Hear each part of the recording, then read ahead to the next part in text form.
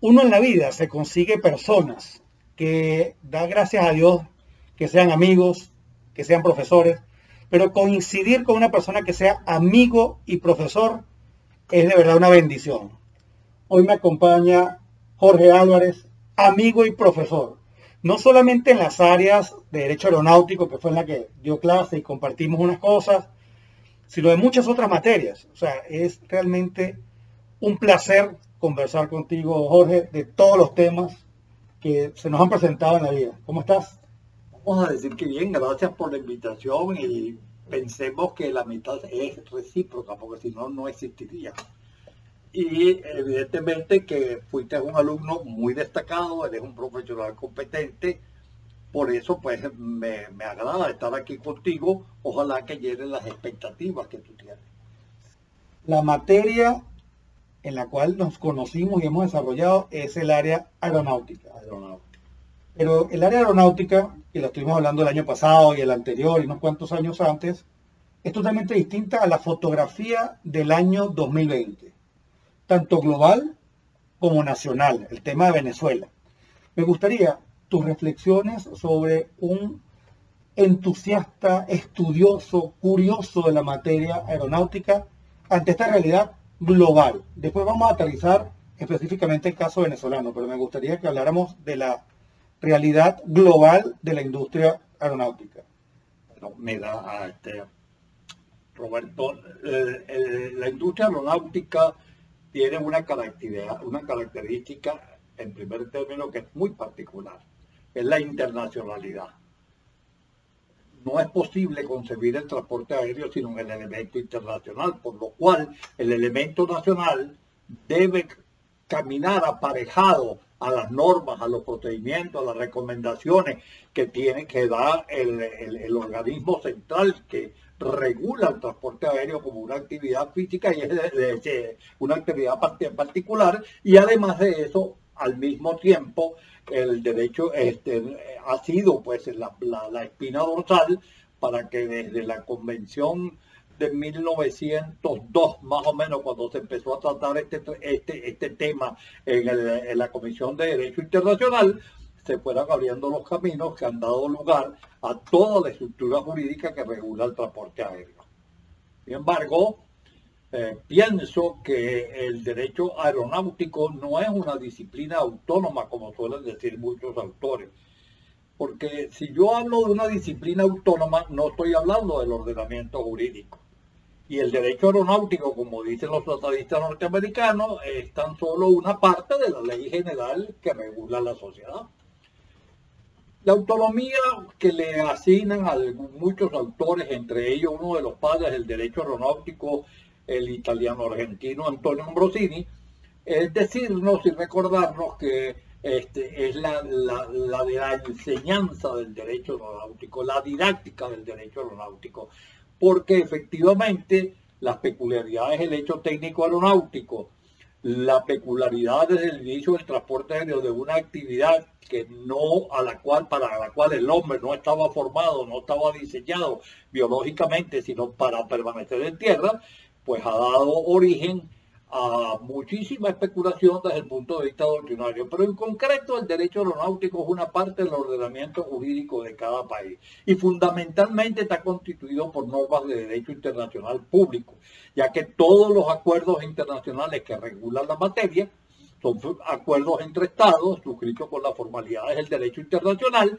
y vigentes para todos los países que forman parte de la Organización de Aviación Civil Internacional. Son muchos los tratados.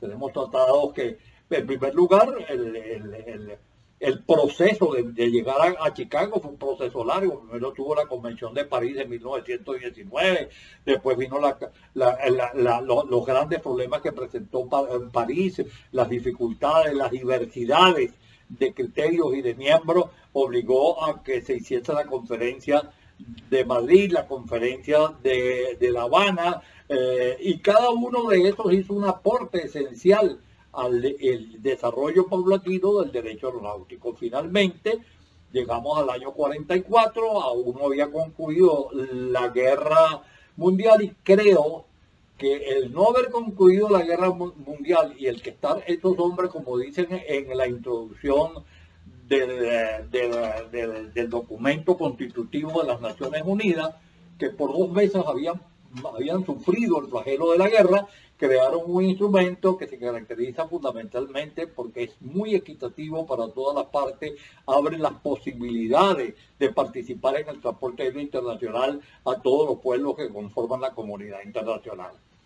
Eso en, en 1944 no fue solamente un convenio lo que se firmó, se formaron cinco convenios.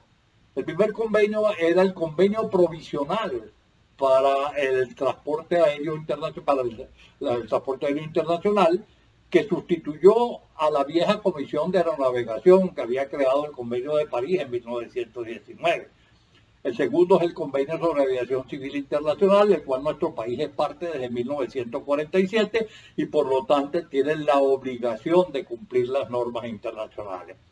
El tercero fue el convenio de tránsito aéreo de los servicios aéreos internacionales, que en su concepto tiene, cuando uno lo analiza, dos aspectos que son sumamente importantes. El primer aspecto, la llamada primera y segunda libertad del aire, términos que, como tú recuerdas en clase, yo he dicho que no existen tales libertades porque la libertad supone una actitud que no está sujeta a ninguna regla y tú no puedes volar a donde tú quieras y como tú quieras, tienes que solicitar los permisos de navegación, etcétera, etcétera, etcétera. Este convenio tiene, garantiza las dos primeras libertades que son el derecho de sobrevuelo sobre el territorio de los países miembros de la Convención sobre Aviación Civil Internacional y en segundo lugar el derecho de rechazar a una empresa designada para prestar servicios públicos de transporte aéreo entre el otro Estado firmante y Venezuela, o, viceversa, cuando la autoridad no esté plenamente convencida de que la propiedad sustancial y el control efectivo de las empresas están en manos de los nacionales de la bandera que representa. Ahora eso hoy en día es muy difícil manejarlo porque las alianzas estratégicas han, creado una situación particular. Hoy no conocemos realmente cuál es la nacionalidad de la empresa, porque eh, hay transferencias de capitales, incluso hay un autor colombiano que es un hombre del medio que dice que este, se ignora incluso quiénes son los verdaderos nombres y se lleva una doble contabilidad la contabilidad que pertenece a la alianza, la contabilidad que pertenece a la empresa en sus servicios particulares que tiene que prestar bien nacionales y bien internacionales. Luego, posteriormente, se discutió el convenio de eh, transporte aéreo internacional, que no entró en vigencia nunca. Y luego vamos al último aspecto, que es lo que se denomina el convenio de los anexos al convenio de Chicago. Ese último anexo no fue sometido a la consideración de la Asamblea para ser aprobado y por lo tanto, desde el punto de vista del derecho internacional, no constituye en sí mismo un verdadero acuerdo internacional. Es simplemente fue una orientación que deberían de responder los estados antes del, 15 de, julio, creo que fue el 15 de julio de 1945, y que desgraciadamente ha traído una, una discusión bizantina de si los anexos al convenio de Chicago obligan o no obligan. Mi apreciación personal es que no hay obligaciones internacionales que no están fundadas en una de las fuentes que el derecho internacional reconoce. En el caso de los anexos, eh, si uno los analiza fríamente y se da cuenta de que a partir de 1994-95 la política IASA de los Estados Unidos obligó al cumplimiento de los estándares de seguridad, tenemos que preguntarnos, ¿y dónde están los estándares de seguridad? ¿Y qué es un estándar de seguridad? ¿Dónde están? Única y exclusivamente el punto de referencia son los anexos al convenio sobre aviación civil internacional. Y en segundo lugar, consisten en ese conjunto de normas que regulan al hecho técnico aeronáutico en sus diversos aspectos, incluso en aquellos aspectos que tienden más a la salvaguardia de la posibilidad de evitar una, un, acto de terrorismo, un acto de interferencia ilícita que a los técnicos. Pero en su conjunto constituyen 19 anexos, cada uno de esos anexos toca un aspecto individual y muy particular, y en su conjunto son los llamados estándares internacionales de seguridad. Mi opinión muy particular es que si los Estados Unidos propusieron eh, el cumplimiento de esos estándares, y si los estándares fueron aceptados por los estados. Y si los estados declararon continuamente de que estaban obligados a cumplirlo, y si el cumplimiento de esos estados llevó incluso en 1997 a, una reunión de todas las autoridades aeronáuticas del mundo, que, de los países que pertenecían a la Organización de Aviación Civil Internacional. Y esas autoridades reconocieron que los estándares les obligan y además de que los estándares les obligan, reconoce que son de obligatorio cumplimiento, pues mira, me da la impresión de que se convirtieron en costumbre internacional porque es una práctica general y universal, es una práctica uniforme, es una práctica prolongada en el tiempo y es una práctica en la cual los estados este, eh, tienen el convencimiento de que las normas que allí reposan les obligan y tienen que cumplirlas como normas de derecho. Consecuentemente, creo que los estándares se han ido convirtiendo paulatinamente en normas de derecho internacional, o sea, la segunda de las normas,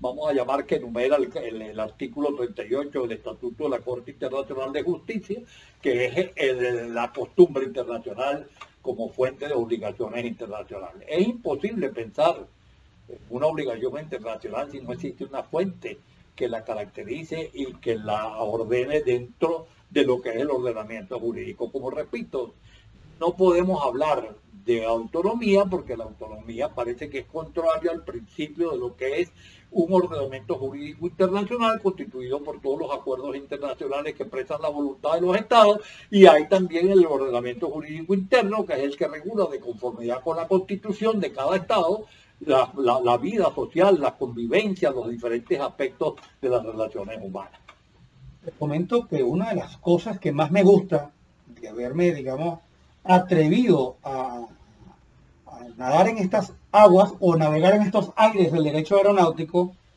es esa particularidad específica, porque el hecho de que no sea eh, autónomo no significa que tiene algo esencial, que es la, internacionalidad que tú mencionas, que abraza muchísimas áreas de derecho.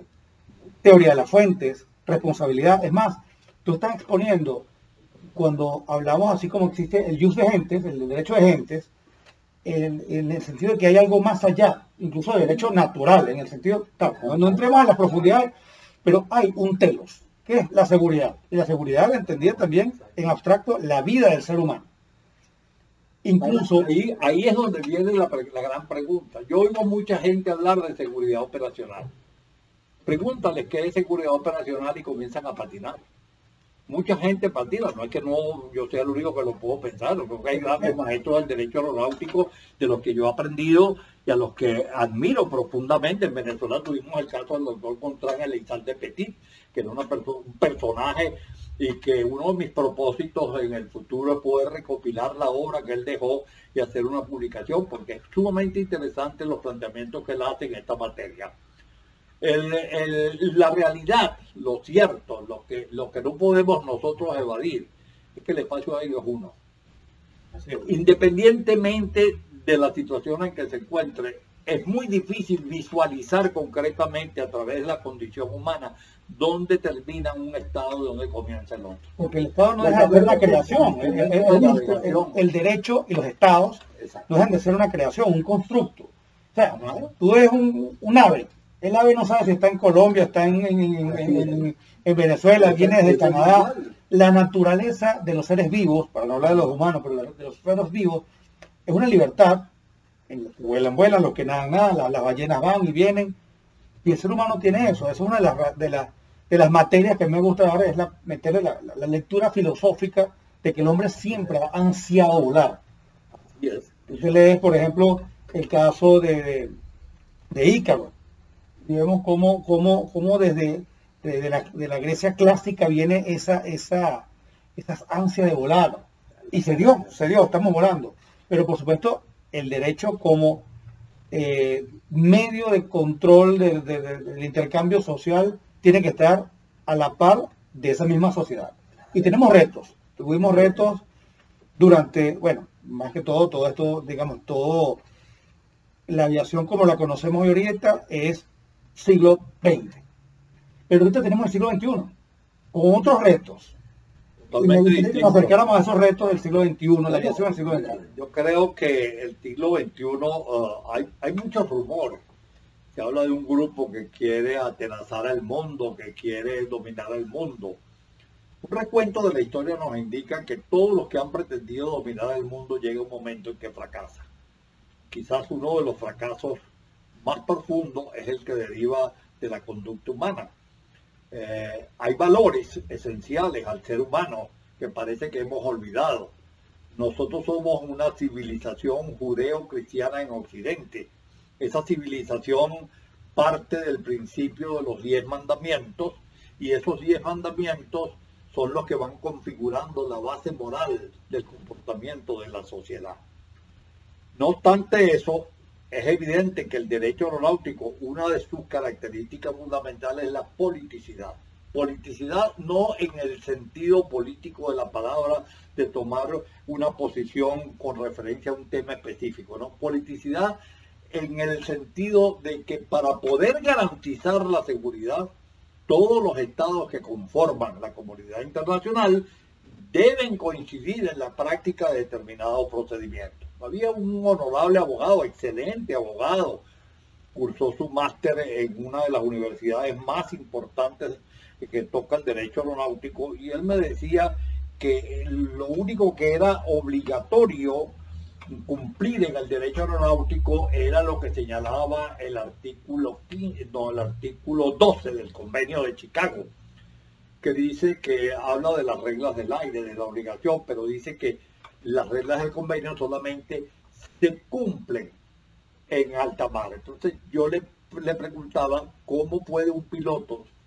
determinar con precisión en qué momento pasa de la alta mar al territorio, a la zona marítima económica que hoy en día extiende hasta las 200 millas.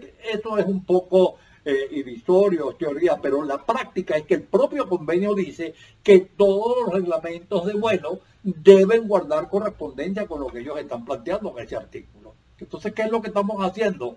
Ahí tenemos el origen de la fuente que después se traducen en, anexos y los anexos por la práctica de la costumbre se han ido haciendo fuente del derecho. En Venezuela hay una peculiaridad que en Venezuela la ley de aeronáutica civil, si memoria no más infiel, en el artículo 15, el artículo 5, dice textualmente que la, el, establece el principio de la uniformidad legislativa, que es un principio fundamental del derecho aeronáutico por razones de seguridad, y entonces dice que las personas, es decir, toda la organización de la aviación en Venezuela, la ley y todo debe tender a la uniformidad legislativa a través del cumplimiento de las normas y métodos recomendados por la Organización de Aviación Civil Internacional. ¿Eso que nos está diciendo?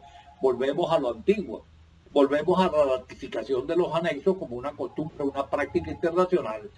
Y por otra parte, es la garantía de la seguridad, porque ¿qué es seguridad?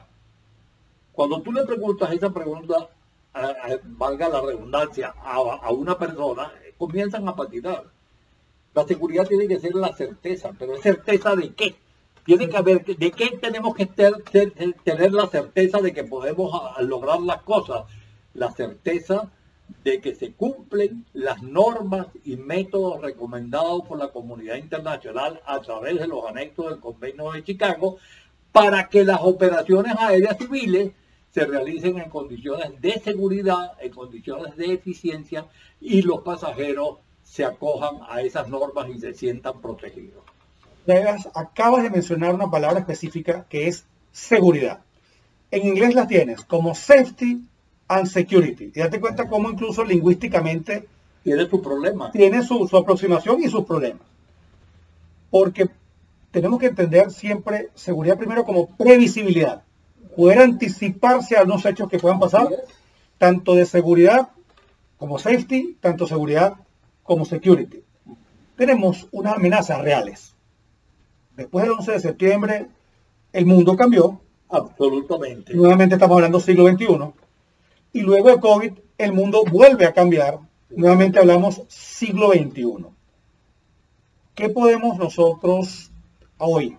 Hoy estamos hablando diciembre, iniciándose diciembre del 2020, en cuanto a la realidad mundial de los, los vuelos y ya sí quiero que vayamos entrando a la realidad venezolana.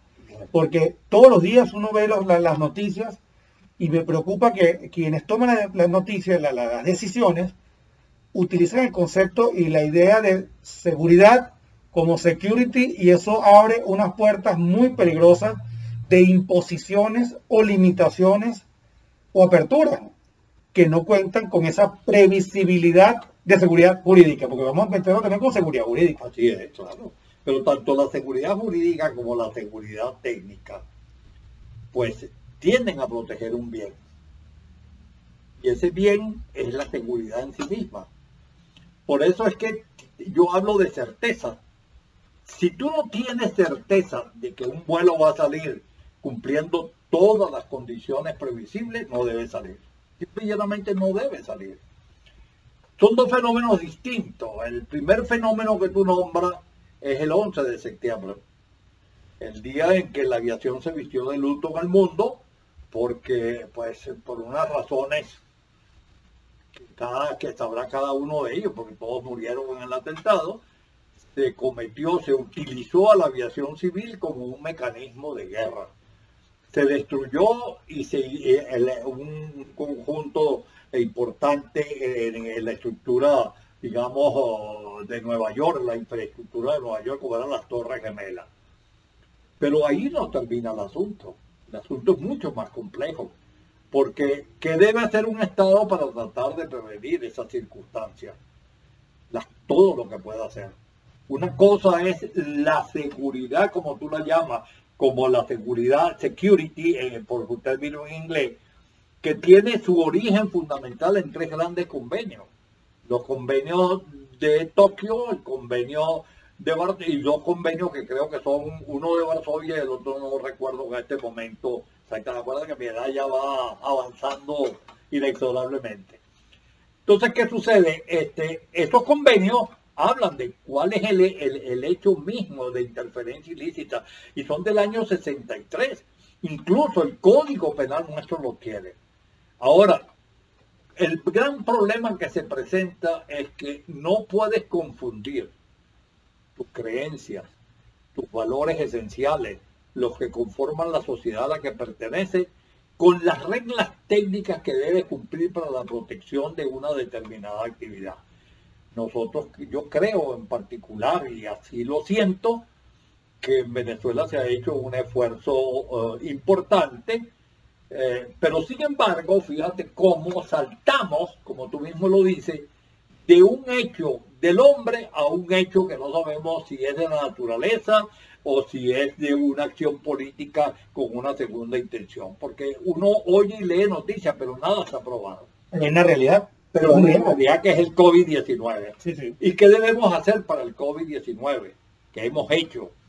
Particularmente el caso de la Cámara de Empresas Venezolanas de Transporte Aéreo eh, presentó a la consideración del Ejecutivo realizar una prueba antes de que los pasajeros aborden, que tiene su, vigencia en el tiempo, y que se llama, es una prueba que tiene por objeto determinar a través de la sangre si el paciente, si la persona, el pasajero está contaminado o estuvo contaminado. Porque el estudio que se hace sobre esa gota de sangre lo determina. Y eso da unos resultados lo, suficientemente certeros. Absolutamente certeros. ¿En cuánto tiempo? ¿Y en cuánto tiempo? En 30 minutos. En 30 minutos.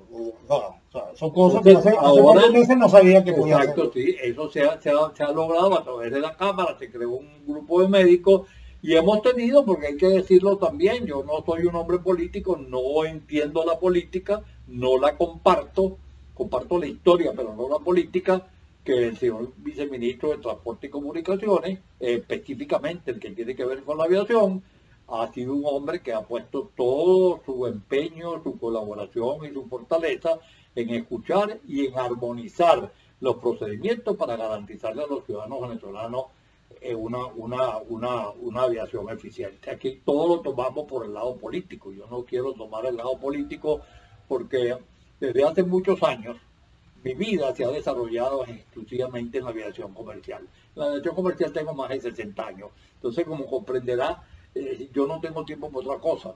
Eh, y creo que hemos encontrado con este señor que, tiene la dualidad, es presidente de Conviasa y es presidente al mismo y es el viceministro de Transporte del, Ministerio de Transporte, una voluntad de escuchar, una voluntad de, poner en práctica las cosas que, los, los, técnicos han considerado fundamentales, especialmente el personal médico, porque este problema de la salud es un problema mundial.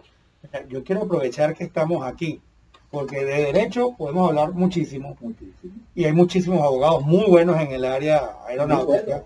Y te digo que gracias a Antonio Silva, que nos conocemos, porque él fue el que organizó ese diplomado en la Monte ah, Ávila. Antonio Silva Así es.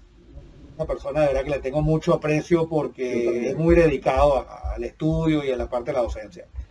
Pero pocos abogados y con conocedores del derecho aeronáutico tienen la capacidad de entender el derecho técnico como tú. Entonces, no es que no me guste hablar de derecho contigo, pero es que la aproximación que tú tienes no solamente es jurídica, sino también es como piloto técnico. Claro. Tú, yo quisiera que, porque yo te conozco, pero quienes no te conocen, una breve referencia de cuál ha sido tu experiencia como piloto. y, y para desmontar algunos mitos, porque a veces las noticias te dicen, bueno, que si alguien se mete en el avión, que sirve. O sea, yo quiero, porque lo he escuchado de ti, pero que lo digamos abiertamente, esas opiniones y reflexiones de alguien que conoce la realidad desde distintos ángulos, porque no solamente el jurídico, y además el mío en montarse el avión es eminentemente como pasajero. Está en otro lado. Lo primero que yo quiero decirte, yo tuve, tengo un reconocimiento de la línea aeroportuaria venezolana como millonario del aire. Millonario. era algo que se le daba a los pilotos cuando sobrepasábamos el millón de millas voladas como comandante en ejercicio de esa función dentro eh, con la bandera de la empresa. Bueno, esto lo tienen la mayoría de los pilotos de mi época, la mayoría de los pilotos eh, más jóvenes que nosotros que ya han cumplido con el requisito. Y después es simplemente un estímulo dentro de, de la organización de la aviación civil.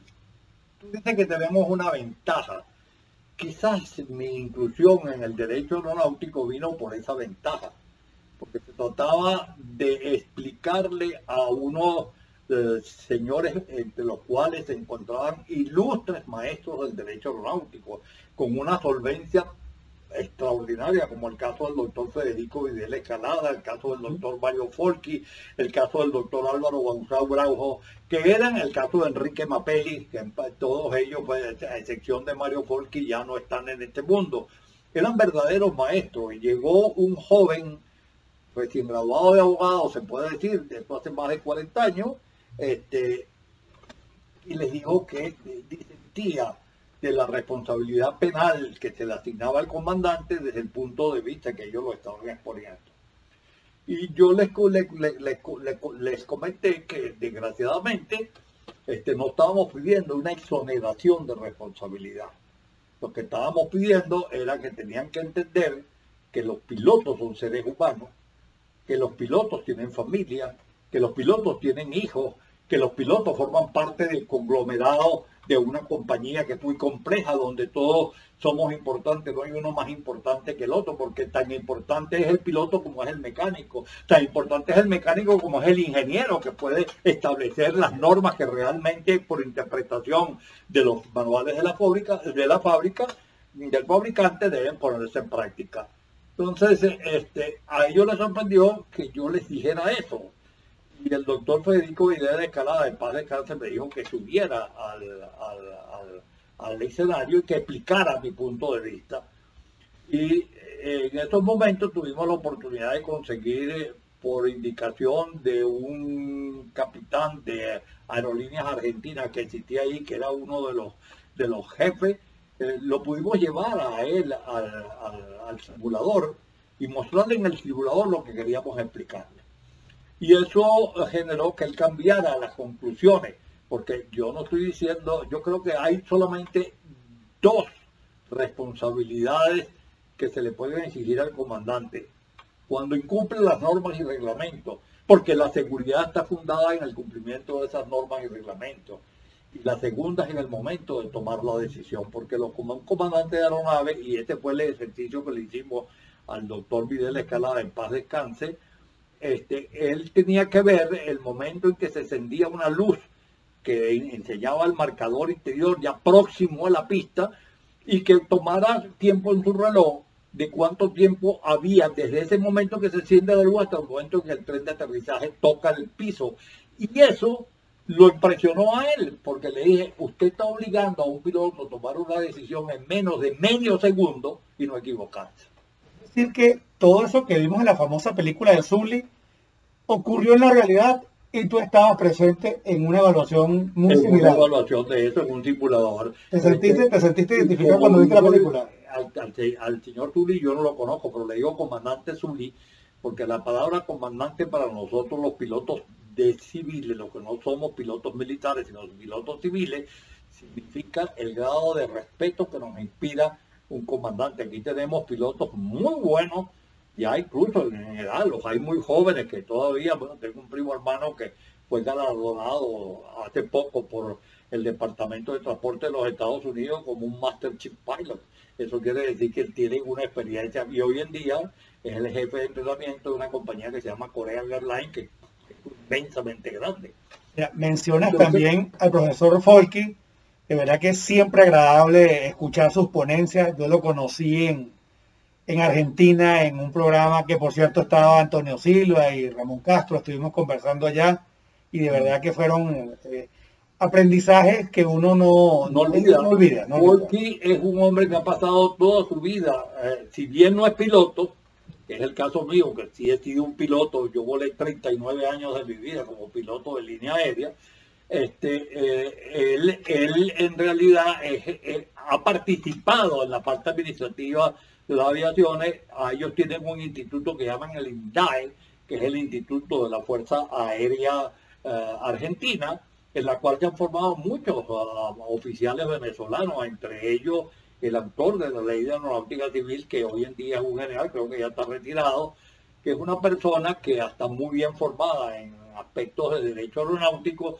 y que ayuda y orienta mucho en la solución de los problemas que a diario eh, presenta el, transporte aéreo. Hoy en día está, creo que es la, segunda autoridad del Aeropuerto Internacional de Maiquetía, es el general Martínez, eh, César Martínez, un hombre pues que, está muy bien formado como, como abogado aeronáutico y este, tiene la influencia de que su condición de militar y su condición de general le permite hacerse sentir dentro de la autoridad aeronáutica. Y ese es un problema que cuesta entenderlo, pero la Organización de Aviación Civil Internacional, en el manual para el funcionamiento de una organización que controle todo lo que es aviación civil en un país, recomienda prescindir del elemento militar. Y esto sí quisiera yo aclararlo, no se trata de que los militares sean mejores o peores pilotos que nosotros. Se trata de que son dos mundos distintos. El militar, el piloto militar es un cazador nato, él va tras la presa, que tiene que impedir que la presa vaya a causar una destrucción en una determinada área. Pero ese piloto lleva el avión a los extremos de su resistencia porque las maniobras que realiza son unas maniobras muy distintas. El piloto civil es un gerente, el comandante de un avión es un gerente al cual la empresa le entrega un conjunto de recursos y con esos recursos él tiene que llevar el avión al otro, al, al lugar de destino con seguridad con eficiencia y con la mayor comodidad posible para sus pasajeros. Son dos situaciones distintas. Sin embargo, el Estado es libre de manejar su aviación civil de la manera que lo crea más conveniente o más prudente. Por supuesto que esos son temas que pueden dar para que lo desarrollemos muchísimo. Yo puedo, desde otras áreas del conocimiento constitucional, etcétera, yo pudiera perfectamente, y creo que pudiera tener elementos para decir la incompatibilidad de la aproximación militar a una actividad eminentemente civil.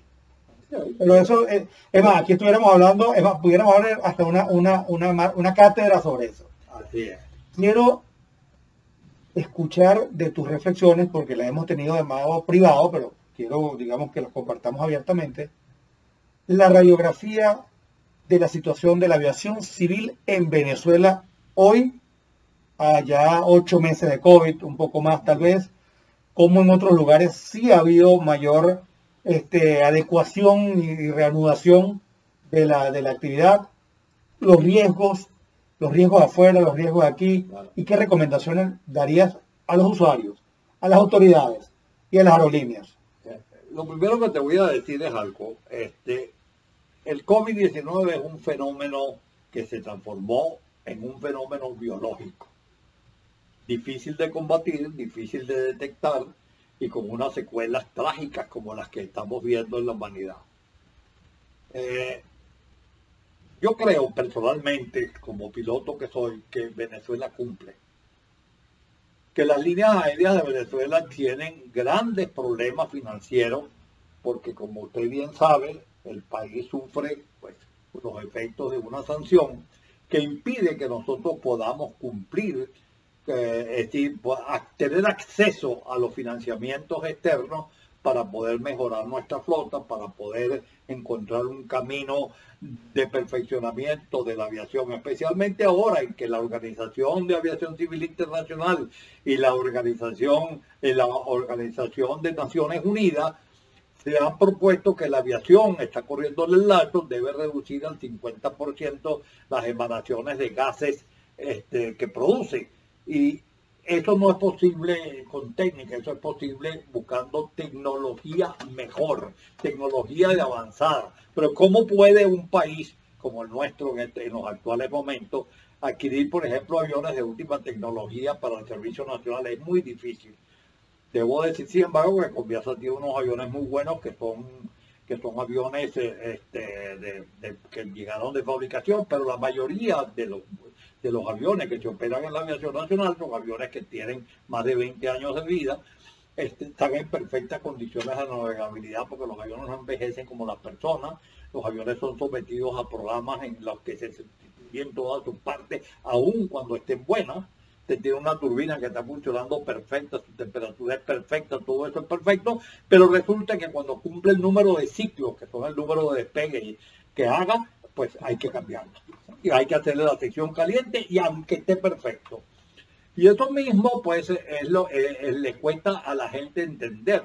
Pero eh, las, las líneas venezolanas, los aviones, cuando están parados, como en el caso nuestro, que llevamos tantos meses parados, tienen que cumplir con un programa de storage que no solamente lo produce el, el fabricante del avión, sino que tiene que ser aprobado por la Autoridad Aeronáutica Nacional. Eso consiste, por ejemplo, el tipo de aceite que se le pone a la turbina cuando se haga el almacenamiento. No es el mismo tipo de aceite que lleva ahí usualmente en su operación se lava el avión eh, perfectamente todos los días, se ponen en movimiento todas sus partes de, de controles de vuelo, todos sus mecanismos aerodinámicos, se sube el avión en un en gato para poder subir y bajar los trenes, de manera que todos esos mecanismos se encuentren en perfectas condiciones para el momento en que se va a iniciar la operación de vuelo. Pero, pero mientras tanto no tienes operación y no está recibiendo ingresos. Entonces hay un, desequilibrio entre la parte patrimonial que tienes que seguir cumpliendo, porque tienes que seguir cumpliendo con ciertos sueldos y con ciertos Yo le he dicho al señor viceministro, con muchísimo respeto, que la tarifa debe ser libre, que las tarifas no deben ser reguladas, por la sencilla razón de que la regulación trae una serie de inconvenientes, primero de manipulación de las cosas, etcétera, etcétera, etcétera es el mercado, aunque no nos guste, el mercado es el que debe regularizar la tarifa. Porque es que el mercado no solamente tenemos que verlo en cuanto a la parte patrimonial neta que tú debes pagar, porque te digo que el mercado también es el que te va a dar ellos, esos aportes a la industria de nuevas tecnologías que sean menos agresivas. Pero te voy a dar un dato. En el año 2015, las líneas aéreas nacionales volaron 7 millones de pasajeros. En el año 2019, las líneas aéreas nacionales volaron el 416% menos, un millón y tanto de pasajeros solamente. Estamos hablando de COVID todavía. ¿eh? Estoy hablando, todavía no había COVID. Entonces, hay un decrecimiento del mercado a la situación económica del país y eso pues se siente en el bolsillo de las personas que tienen que comprar un boleto y se siente en el bolsillo de la línea que independientemente de que el avión vaya full o no vaya full, tiene que participar activamente, tiene que garantizar la seguridad de los vuelos, tiene que cumplir con las normas nacionales y tiene que cumplir con las normas internacionales que regulan la navegación aérea. Creo que el derecho aeronáutico le queda todavía mucho tiempo, porque la aviación va a crecer, habrá nuevos mecanismos de transporte. Estamos a las puertas de volver al transporte supersónico por parte de las grandes potencias. Y bueno, este, esperemos qué condiciones va a surgir, cuál es el alcance, el valor de estos aviones. Eh, la experiencia del Concorde fue una experiencia exitosa. El último accidente que se le atribuye, al parecer, y si mi memoria no me es infiel, ocurrió como consecuencia de un avión que despegó antes que él y que en la carrera de despegue largó un pedazo de, de, la parte del, del caucho y ese pedazo fue absorbido por la turbina y creó una situación de inestabilidad. Pero el COVID-19 es muy difícil contagiarse en un avión. En primer lugar hay que tener conciencia de cuál es el valor de la temperatura que está entrando a los sistemas de refrigeración del aire en cabina. El aire en cabina está cambiando cada tres minutos, no es el mismo aire hay una outlet valve que la botan al exterior, pero cada ese, ese aire cuando sale de la turbina sale a alta temperatura, a la, la temperatura que está volando la turbina. Perdón un momentico. y ahí Te llamo en dos minutos que tengo una clase. Entonces, este, el, aire, el aire este, eh, sale a, una temperatura muy alta que no, no, permite la, presencia de ningún tipo de bacteria o de cosas, y pasa a unos sistemas de refrigeración. Esos sistemas de refrigeración luego entran a unos, vamos a llamarlo a unos ductos, para que el pasajero respire el aire. Pero a la salida de ese ducto hay unos potentes filtros que terminan de filtrar cualquier elemento que pudiera realmente ayudar al proceso de contaminación. Leí algo por ahí de, de los fabricantes de aviones en los que coinciden tanto la Airbus como la Boeing, que son los principales fabricantes de aviones en el mundo, que dicen que este, para contaminarte en un avión tú deberías volar más de 50 horas con un contaminado al lado. Y yo creo que sí, porque es muy difícil por el mismo, vuelvo y te repito, el aire del avión no es el mismo, el aire del avión está cambiando cada tres minutos, el aire está totalmente renovado en la cabina. Pero también hay un tema interesante que es que la operación completa no es únicamente la que se lleva en el avión. Ahí tienes temas de catering, ahí tienes temas de hay, que, hay, que, hay que abordar este fenómeno desde un... Se ha abordado, hay, una serie de medidas. la fotografía de Venezuela, nuevamente, Venezuela cumple. Es decir que... Yo quedé este, impresionado. A mí como miembro de la Cámara se me invitó al ensayo de los primeros vuelos que se permitieron en Venezuela Realmente quedé impresionado de la modernización de los sistemas de vigilancia del aeropuerto para evitar el, tráfico de droga, para chequear a las personas, eh, evitando el contacto humano que siempre es que no sea invasivo, que no sea Han cambiado todo el equipo en el aeropuerto de Maiquetía, creo que es un aeropuerto que se encuentra a la altura de cualquier aeropuerto con todas las dificultades propias de las circunstancias particulares que vive Venezuela creo que con independencia de la política, vuelvo y repito, porque cada vez que uno dice que están haciendo una cosa buena, dice, bueno, es que usted es simpatizante, no, no yo no, yo, yo no, no, no, no, no toco el tema político porque no sé de política pregúnteme de aviones, de, horas de vuelo, de, normas de, prevención, pero no me meta el tema de la política. La única política que conozco nunca nos han hecho caso a la política aérea. Y la política aérea es lo que se basa en el principio de la reciprocidad. Usted quiere venir para acá, ¿cómo no? Pero el mismo número de vuelos que usted tenga para acá, las empresas de aquí lo deben de para allá. Es un principio muy sencillo. La reciprocidad, en, su, en su concepción más llana Vaya, exactamente. Es tener esa responsabilidad que le abre camino, le abre rutas a las empresas para que las empresas puedan a través de la operación internacional este, lograr realmente el, coeficiente de seguridad que todo el mundo anhela y pide. Y además de eso, este, no olvides que la aviación es un instrumento fundamental para el turismo. Si nosotros queremos realmente desarrollar turismo y tenemos con qué, porque tenemos una, una, una, una bellezas naturales que son realmente cautivantes. Yo, por ejemplo, volé muchísimos años como capitán de S3 en la Gran Sabana y estaba enamorado de la Gran Sabana, los paisajes, la naturaleza, las flores, la forma de los y todo eso en Bruja. Eh, bueno, igual no, cuando tú vas a Cumaná y ves lo que es Playa Colorada, entre Cumaná y, y, Puerto La Cruz, encuentras paraísos verdaderos. Encuentras paraísos aquí en el, norte, al lado de Puerto Cabello, en, en toda esa zona. Entonces, tenemos desiertos, tenemos eh, montañas yo pienso que el, turismo debe tener un impulso y, ya le, le, corresponde al gobierno establecer cuáles son las normas de ese impulso. Pero yo creo que el turismo tiene algo que decir. Puedo señalar una cifra que se me quedó en mi cabeza.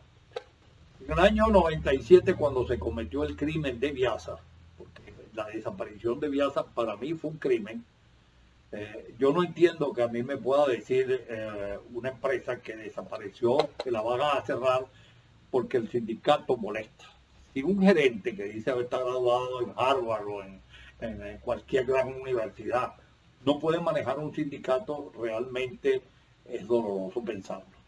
Porque los derechos sindicales existen y la obligación de cumplir las normas de la OIT existen. Pero también tiene que existir el poder del ejemplo y del convencimiento del gerente para que se entienda hasta dónde se puede llegar y qué límite no se debe traspasar en función de la vida de la propia empresa. El tema, de IASA es complejo y también amerita, tú visto que yo hice un programa aparte sobre eso. Quería decirte, por ejemplo, que para que tengas un dato, el último año que voló Viasa, creo que fue el año 97, metió 597 mil pasajeros a la isla de Margarita traído desde el norte de Europa y desde Canadá. ¿Cuántos tenemos ahora? Ahora, vuelvo y repito, yo creo que las empresas de aviación, Estados Unidos no ha cambiado mucho sus normas. En Estados Unidos el capital extranjero no puede tener más que una participación limitada por la ley federal en, la, eh, en, en las acciones de una empresa aérea. ¿Por qué? Esta es la pregunta, porque son empresas estratégicas. La aviación civil es parte de lo que, se, lo que en conjunto se llama el poder aéreo nacional. Y ese poder aéreo nacional responde en un momento de emergencia del país. No hablemos de guerra. Yo no, no, no, creo que nosotros nunca vamos a entrar en un conflicto y yo nos impida. Pero lo vimos en el caso de Maiquetía. Como en el momento en que eh, tuvimos la gran tragedia de, de Vargas, como la aviación general y la aviación comercial salvaron vidas. Yo recuerdo que en ese momento Avenza operaba DC-10 y que con DC-10 sacaba pasajeros de Maiquetía a Valencia para evitar la tragedia que estábamos viviendo. Y la aviación general, que tuvo accidentes de la aviación general de personas que perdieron la vida tratando de ser útiles a la comunidad a la cual se deben, a las personas a las que realmente este, tenían que velar por ello y hicieron un trabajo excepcional. A mí me gustaría ver también, no solamente la aviación comercial, pero el desarrollo de la aviación general, porque la aviación general es importante. Yo le dije en estos días a una persona de la autoridad aeronáutica que recordaran que en los años 90 hubo un programa que nunca entendió la autoridad eh, aduanera, que era convertir a Maiquetía, eh, convertir al aeropuerto de Caracas y a los aeropuertos por ahí cercanos, y creo que el de Barcelona, los iban a convertir en los centros para la práctica del mantenimiento de toda la aviación general en el Caribe. Eso significaba puestos de trabajo, buenos sueldos, ingresos de dólares para el país, etc. Y no logramos en aquel tiempo convencer a la autoridad aduanera para que se, se exonerara del IVA a los repuestos que se le ponían a esos aviones, que la aviación no es, muy difícil engañar, porque eh, todo tiene que tener un certificado de origen y un número de partes, lo que se coloca en un avión. De manera que si yo le digo a, la autoridad, aquí se colocó una bomba de combustible, es muy fácil para el inspector aeronáutico determinar si esto es verdad o es mentira. Difícilmente puede haber otra actividad en la cual estés tan regulado y por supuesto este, delimitar las, responsabilidades. Si tú, es más, eso no es que tú puedas agarrar cualquier radio y lo pones ahí. Estamos hablando de radio y poner música. O sea, todo, absolutamente todo. Y por supuesto de la parte de la norma técnica. Jorge, además de la aproximación desde el punto de vista jurídico o aviador, tú eres un enamorado de un personaje histórico no solamente venezolano, sino cuya importancia y referencia global es inobjetable.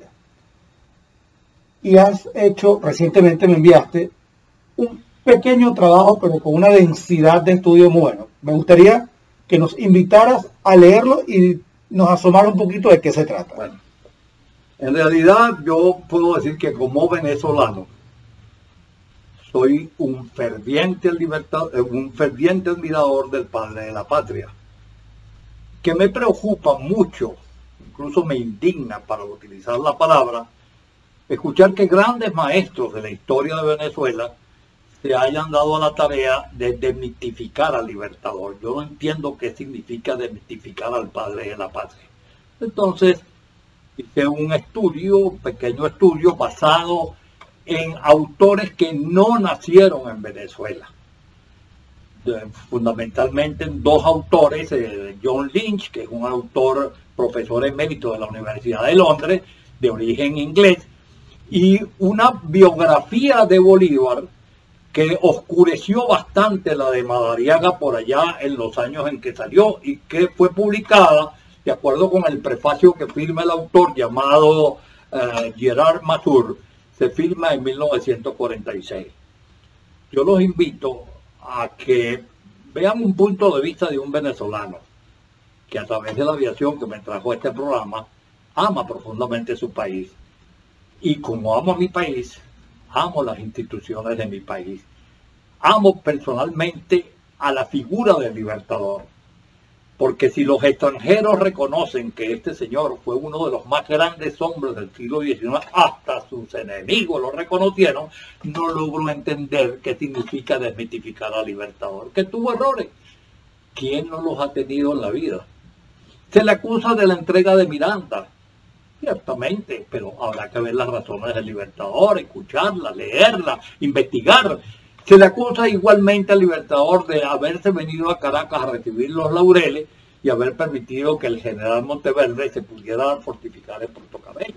Bueno, es posible que quienes así piensan tengan razón. Yo no soy nadie para, para, para, pero para mí como venezolano, creo que en esta crisis moral, ética y pública que vivimos, la única figura que tenemos nosotros para salir de la condición de repúblicas muy pequeñas, sin rumbo y sin, destino, es creer en las enseñanzas de Bolívar, escuchar lo que grandes plumas y grandes maestros han dicho del Libertador y rendirle el homenaje no de palabras, de hecho, amando y respetando nuestro país, luchando para que nuestro país sea cada día mejor y para que encontremos el rumbo que nos llegue a la constitución de ese gran sueño que tuvo el Libertador, que fue la unión de la América Latina.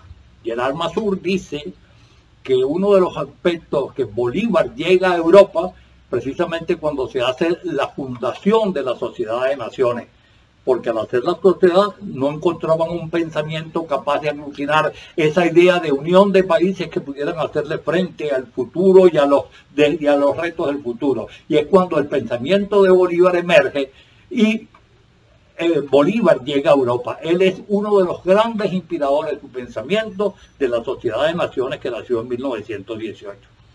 Yo invito de verdad al respeto por la figura del libertador. Creo que fue un venezolano insigne y un americano extraordinario. Un hombre que nos dejó, puso su fortuna al servicio de la libertad, de la paz y de la esperanza de una mejor Venezuela. Como humano debió equivocarse, esto es indudable pero no nos toca a nosotros juzgarnos su condición de humano, nos toca juzgar el resultado y el resultado es que somos países libres con esperanza de constituir naciones de avanzada en la medida en que nuestros líderes políticos asuman su responsabilidad, dejen de lado los intereses personales y encaminen el país hacia el progreso, hacia la paz y hacia la esperanza de una Venezuela mejor.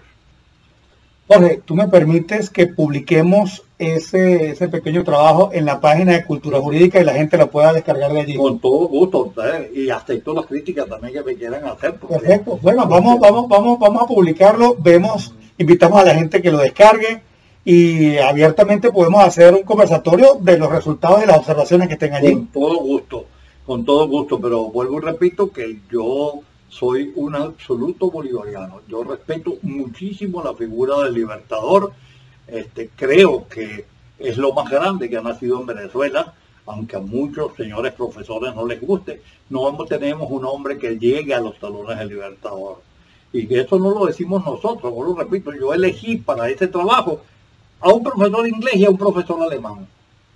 Y además cito a un expresidente de Colombia, que en un trabajo llamado el final de la grandeza, demuestra con creces que Bolívar fue víctima de las manipulaciones del general Francisco de Paula Santander y que desgraciadamente el culpable del derrumbe de la Gran Colombia no es el general José Antonio Páez, como suele decirse muy alegremente por ahí, sino que es precisamente las traiciones de Santander que él demuestra en su libro con fehaciencia, con carta, con fecha, cómo se contradice eh, las órdenes del libertador, etcétera, etcétera. Y bueno, no me dio tiempo para colocar eso en el trabajo que hice, pero lo que ese trabajo conlleva realmente es el espíritu de una persona que ama Venezuela y que rinde, le rinde el más profundo de los honores y respeto a la figura de Simón Bolívar. Como podido ver, sentarse con Jorge siempre es maravilloso. Salíamos de clase y yo creo que pasábamos más tiempo hablando post clase que durante la clase. Hablábamos mucho de historia. Bueno, Jorge, un placer tenerte aquí y te voy a poner en un compromiso. Tú porque eh, también escribes poesía, ¿no? ¿No nos puedes declamar algo aquí rápido? Bueno, hay algo que está muy vinculado con el, con, el vuelo, que se lo titulé este, vuelo nocturno, después de haber volado mucho, hace mucho tiempo, en mal tiempo, eh, cuando llegué a los 37 mil pies de altura, se despejó, quedó aquel universo inmenso, y pues se me ocurrió un pequeño poema que dice, qué de misterio, Señor, en la inmensa plenitud del universo. Aquí, desde lo alto, mágico espectáculo nos brindan el eterno titular de astros y luceros, cósmica armonía que cohibe mayor amplitud que el pensamiento. Yo ¿Quién soy? Tan solo mi conciencia, un destello de luz en la tiniebla, un hombre que sueña y piensa como ave o un ave fatigada y peregrina que sueña con ser ave. Y es tal la magnitud del firmamento, la bóveda celeste y el manto azul que bordan tus estrellas, que no alcanzo a comprender mi propio sino. ¿De dónde me llega la conciencia? ¿De dónde llega la inquietud eterna? Ejemplo, esta es tu casa.